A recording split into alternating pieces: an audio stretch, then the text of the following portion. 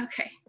Um, I put these pictures on here. This is a picture of my dog Jax, and then I put this photo in because I recently came across it. This was well, 18 years ago, and I had my first camera in my hand, which is an Olympus Epic Stylus. So I never knew that I would work for Olympus, but but there it is. Um, always supporting Olympus. Um, this these are some of the styles of artwork that I do. I have a lot of stuff like this.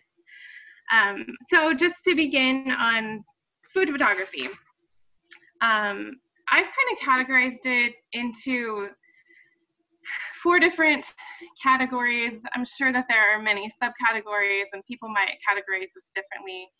But the, the way that I've categorized this is how I view things on how easy versus hard things are. So the way that I see it is fruits and veggies and anything uncooked tends to be a lot easier to get a good photo with. Um, I have theories on why, but um, and I don't know. I've never really discussed that with anybody, so I'd be curious to know what other people think too. Um, baked goods, I think, are also easy to photograph. Um, the harder things are like pastas and casseroles, like cooked food. I struggle with getting a good photo of that. I think it has all, all to do with lighting, but um, and then restaurant food, depending on the lighting, it's that's usually where um, the struggle comes in because a restaurant typically has like good mood lighting, but it's not good for uh, taking photos. So depends on the lighting. Uh, so that being said, lighting is the most important element in my opinion, and that goes for a lot of photography. So I'm not saying that you have to have any kind of special equipment, although I think that certain cameras or certain phones might have more limitations, but you can still get a good photo with any image maker. So um, for this presentation, I'm mostly going to talk about window light because it is the most abundant and it's the most available for everybody, at least for right now. Um, so window light, um, outdoor sunlight if you have the ability to go outside on a porch or patio. Um, the other option would be artificial light, like an LED panel or softbox so so long as it's the softbox is used to diffuse the light. Um, softboxes it doesn't also have to be anything fancy. Like you don't currently have one, although I know you can do curbside pickup if you wanted to really get into this. Um, but you could also use white, uh, anything white because it reflects light, so like sheets or something like that. Um, and then speed lights can be used in food photography. I actually have a friend who does a lot of food photography with speed lights um, but I think that that is a very advanced way because when you're using constant light, you see what the light is going to look like in real time. And with the speed light, just with anything, unless you're just really into speed lights, um, you see the light after the fact. So if you know how to shape that kind of light, then go for it. And then overhead, I have marked out because I think it casts bad shadows for most types of photography. Um, let's see. So the larger your light source, the softer light's going to be, and that goes for also any kind of photography. Um, and it'll it will definitely be more diffused and create fewer shadows that way. Sometimes shadows are, are what we want, but you can change your angle and manipulate the light to to work for you. But as a general rule, um, the larger the light source, the softer light is going to be. Here's an example of just using window light. Um, I, I forgot I wanted to mention on this one. I've put this photo up here because this is the window light that I was using. Um, it's not necessarily like the greatest photo, but I wanted to show you like this is the light that was coming in. So I was using, I was putting my back up against the window basically and shooting into the home instead of shooting at the window because that's going to create a lot of weird things, I guess. Um, but this is one example that it did work for, I guess because the window was smaller or, or there wasn't nearly as much light coming in and it didn't create crazy shadows.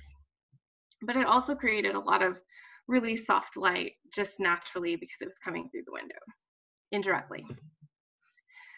Um, some alternatives to just using window light if you have the capability is to go out on a covered porch um, because it's still going to diffuse some light that way.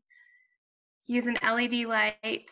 Um, I would suggest making sure that your white balance is matched to whatever the LED light is. And if you don't have the capability to match it exactly in Kelvin, then um, use your uh, custom white balance. That will help a lot and to get the right color temperature on your on your um, on your photo. Um, and then again, you can use white things like white sheets of paper, poster board to reflect light back because white is always reflected, or light is already always reflected from white.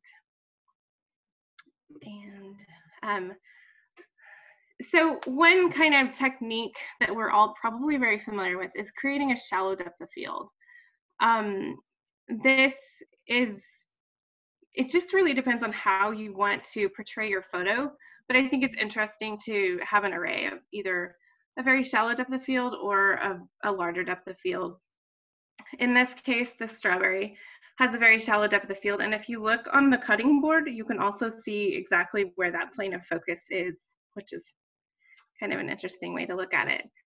Um, but to create a, a shallow depth of field, you would, there's different ways to do it. The most common way um, that people know is to open up your aperture to a wide aperture, like 1.8, f2, 2.8, and that just naturally makes the lens have a shallow depth of field so that everything is blurry in the background. Um, you can also achieve it by backing up and using a zoom lens to zoom in. Um, that creates a more blurry background. Um, you could also use portrait mode if your phone or if your camera has that ability. It tends to blur out the background. Um, and one of the most important things in creating a shallow depth of field, even if you have, let's say you have a standard 50 millimeter 1.8 on your camera, um, the amount of distance between you and the subject and the subject in the background has a lot to do with how blurry that background looks. So um, you can kind of play with that. If you have a lot of distance in between the subject and the background, you're likely to have more of a blur in the background versus um, if you if your subject is all the way on the background. And then macro lenses naturally have a more shallow depth of field because of the way that they're built. So that's something that you could use. On the other side of it, you can um, you, you can close down your aperture so that you have a greater depth of field, like f8 or f11 if light allows. If you're using window light or if you're outside on a porch, then generally you're going to have the capability to do that because the sun is so bright. But if not, you could always put your camera on a tripod and um, slow your shutter speed down. So long as like food is probably not going to be moving generally. So um, you could slow your shutter speed down and not have a blur that way. And then wider lenses tend to have a greater depth of field also like a like a super wide angle lens although it's going to change the way that your image looks because it's going to be a wider field of view um, one technique you can use and this goes for things also other than food photography is to use the like rule of odds in in design any kind of design or decorating or art odd numbers just are more aesthetically pleasing to the human eye. Um, generally, it's the number three that's the magic number, but that goes for other numbers also. Like if, if you had five or seven, that also works better than four or eight, something like that. It's just a, I should study the psychology behind that. I don't know exactly why, but I just know it's a thing. Um, and things like this, like strawberries or peppers, or a lot of produce actually, um, there's a feature in some of our cameras called high res shot mode. Some of them have handheld high res shot mode. Um, and that's a great way to use these or to great feature to use on things like this because you can zoom in and have so much detail. You can see things that your eyes normally can't see, which fascinates me.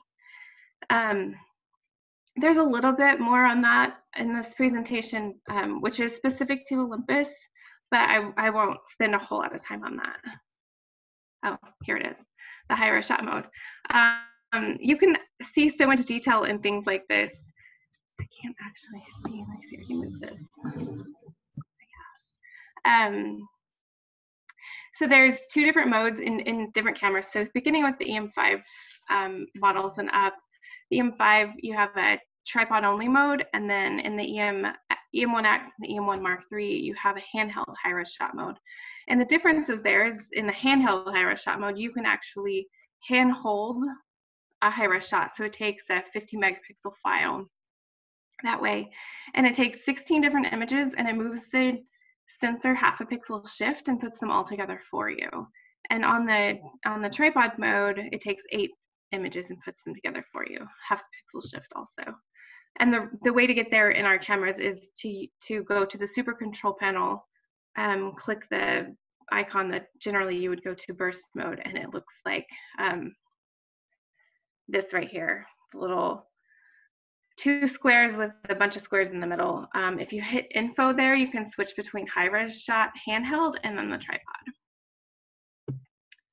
Um, another thing that I think makes food photography very interesting or elements that you can add there are to play with textures. So if you just look around your house and you find different kinds of textures, like um, for this particular shot, I was at my mom's house and she has a thing for cutting boards. She loves to have different cutting boards from different, um, you know, states and things like that. So I had a lot of different textures to play with there. Um, but I liked using that and the honey. So there's glass and there's metal. There's a bunch of different elements right here. Um, there's lots of different things that you can add. Um, you can also play with the um, composition rules. The most common that we know is the rule of thirds. So in this photo, you can see that the honey and the honey stick is in the top left quadrant. And these are different examples of finding texture around the house um, with this kind of weave looking ottoman, the metal texture, the shadows, the wooden floor. And then um, over on the right, there's a bunch of textures also with the wood and the lines and the patterns. Those are things that I just like in photography in general but there's a lot of different mixtures and textures here. Um, using a macro lens can add some kind of interesting elements to your photography. This is just a, a butter lettuce leaf with a very, very shallow depth of field. Um, I like it because I like abstract photography. That's not for everybody, but I like the curves and the shadows and the highlights that come through here. Um, and lettuce is often something that a lot of people have in their fridge or at least some sort of greens like that. And so another thing that we have in our Olympus cameras is focus bracketing and stacking. Our cameras do this for you so long as you turn it on and you use it. Focus bracketing though is something that can be done with really any camera. You just have to change your plane of focus. So what it does in camera is it it allows you so you would focus on the foreground the element in the foreground and when you have bracketing turned on and press the button down the shutter button down and it will continue to take images and moving the plane of focus backward and whenever you stack them it will put those images together for you so you would have the bracketed images and the stacked image um, you can choose to turn stacking on or off if you want to bracket them yourself in, in other programs. But it's a pretty cool feature. And I guess one other thing to mention, if a lot of people do ask me this, if you're shooting in RAW, um, when you're bracketing and you uh, choose to have it stacked for you, the stacked image is a JPEG, but you would still have all of the raw images in the bracketed portion. So I realize this is not a food image, but this is an example of focus stacking. So this is a stacked image in camera. And just to give you an idea, and hopefully you can see this um, on your computer because they're kind of small, but you can look through these. These are all of the, the different bracketed images. Um, like on the second one here on the top, you can see that the stem is very out of focus um, and then the one to the right is more in focus. So it, it, it takes different planes of focus.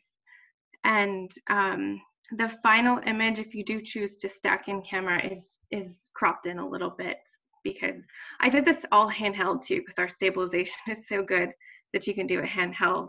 Um, you would probably, uh, it, a tripod is recommended, but I, I guess I was being stubborn and I didn't want to put it on a tripod. So, um, but it's a really cool feature.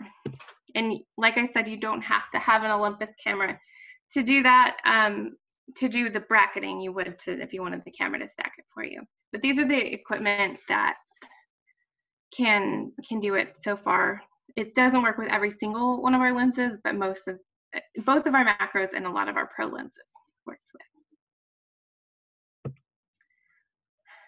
Some other tips is to uh, for food photography is to create your own um, patterns. You can um, so I created an um, an element with five little uh, rows here. And then I used different contrasting textures here. And um, I changed my settings so that the background was really dark. Um, I kind of did that on, on purpose, but um, other elements that you can add that that add some interest, I think that you can add more texture and you can add more um, color is if you used a dish towel or a spoon or some sort of utensil just to give it a little bit more um, interest in the photo. And um, aerial shots are something that I often see in food photography. I am very aware that I broke the rule here with the um, the rule of odds because there's six lettuce leaves there. But I also was kind of going for some symmetry and it's broken up into three rows, I guess. So there's there's the odds there.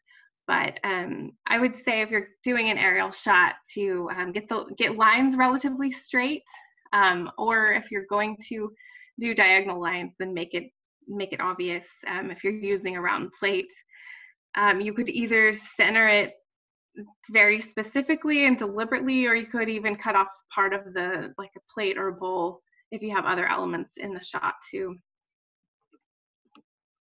You can just play with it and see what works. Um, you can also create your own angles depending on, or create, yeah, create your own, create your own leading lines by using angles.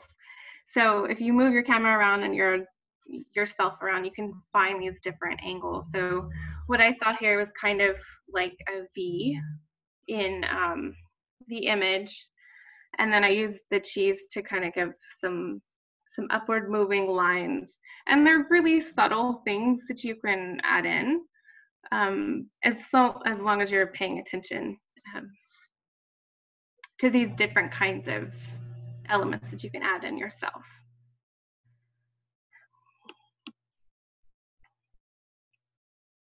Reflections are one of my favorite things in photography. Um, in any kind of photography. So especially with food. So I will admit that this is kind of a happy accident. I put the salad in the glass and then later I realized how it reflected on the edges and I really liked it.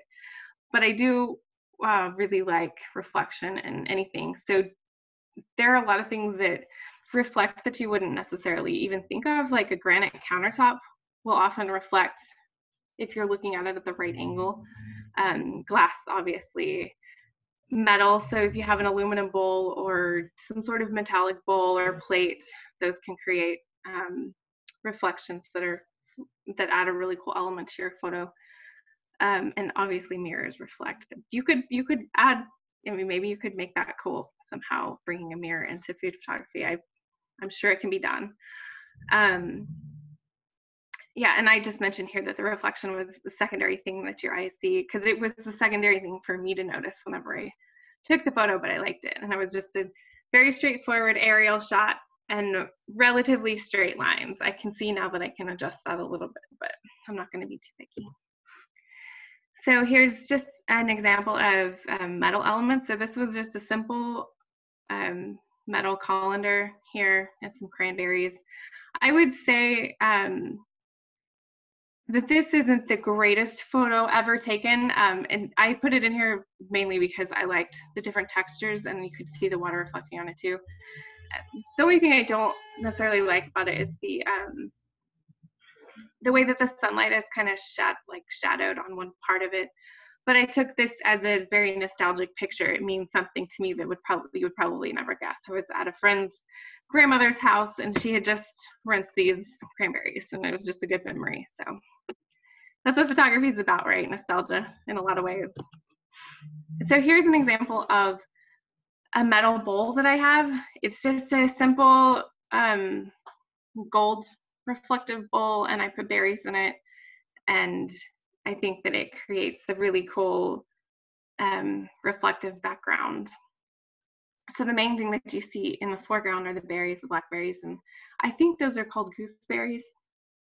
I think I've never eaten them. Um, berries are also really interesting for the high-res shot mode. They're really fun to be able to zoom in and see all of the intricacies of our food.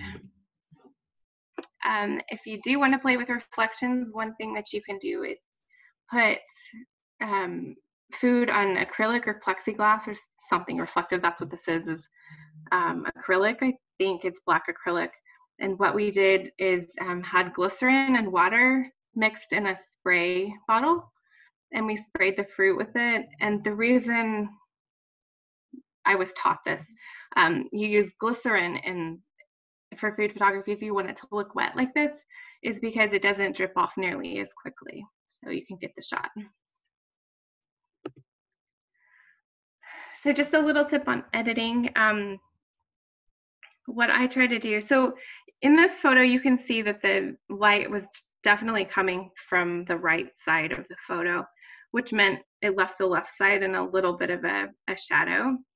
Um, there are probably other things that I could have done to to fix that, but I just did it in post processing instead of retaking the photo with a reflector or something.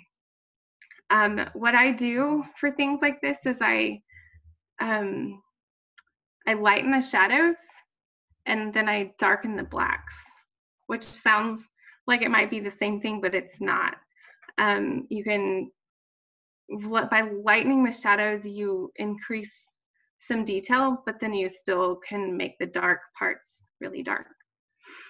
Um, and then another thing, an editing tip that I like to talk about is instead of using saturation, to use vibrance if it's an option. Um, I know I know it's an option in Photoshop, um, and it's even an option in Photoshop Express on your phone, which, as far as I know, was a free app um, I don't know if it has changed since I downloaded it, but um, by adding vibrance as opposed to saturation, it just adds a little bit more natural color to it, makes the colors pop without increasing false colors.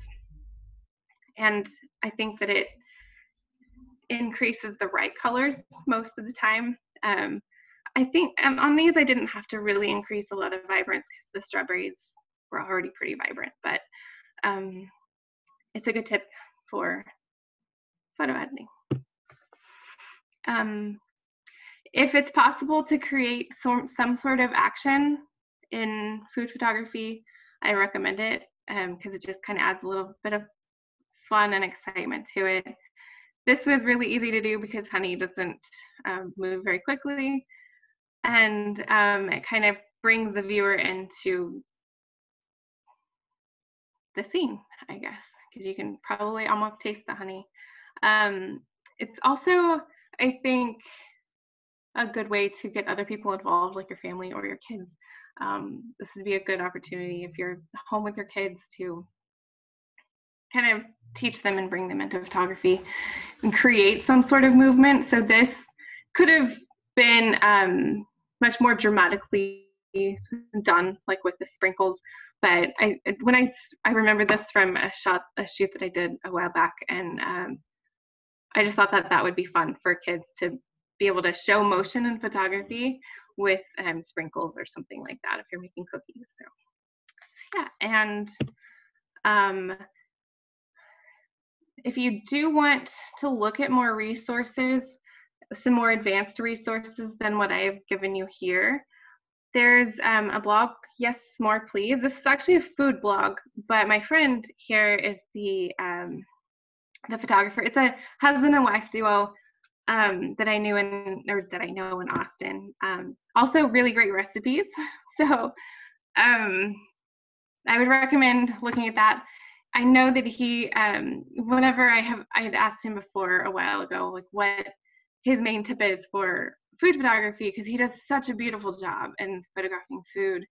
And he said, I mean, he did say it's all about light and it's all about changing your angle and getting the right, the right angle and view. Um, you know, from taking a photo on the left might look completely different from the photo on the right and just playing with it and having patience. And that's what we have right now. We have time to be patient. Um, and then another resource for the photo bracketing and stacking is Peter Baumgarten, Creative Island Photo. He has a blog that tells you a little bit more about how to do the focus bracketing and stacking. And and yeah, thank you. And remember to shop local. and that is that's all I have for my presentation. Thanks, Shelley. That was awesome. I'm kind of hungry now. Good thing it's dinner time soon. yeah. Let's see. Um,